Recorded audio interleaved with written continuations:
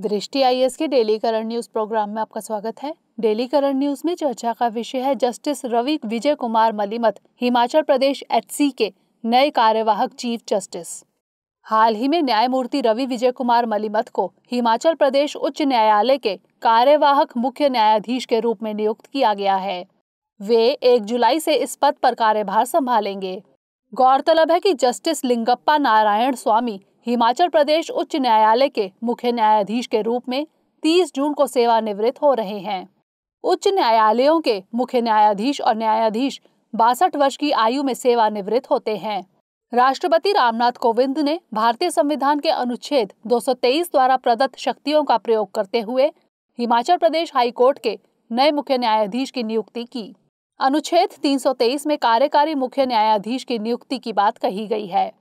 संविधान के भाग छह में अनुच्छेद 214 से 231 तक उच्च न्यायालयों के गठन, स्वतंत्रता, न्यायिक क्षेत्र, शक्तियों, प्रक्रिया आदि के बारे में बताया गया है।